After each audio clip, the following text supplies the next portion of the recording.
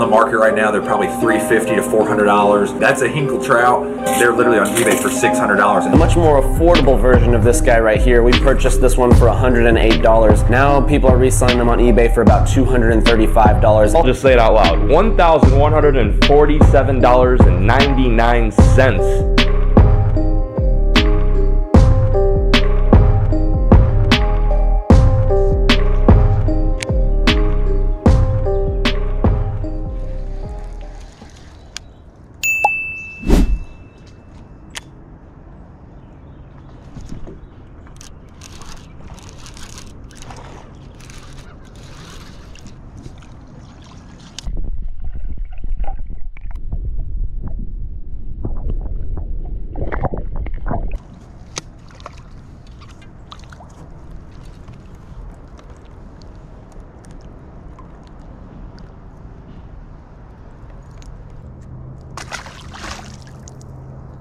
The word glide bait is hidden somewhere in this video.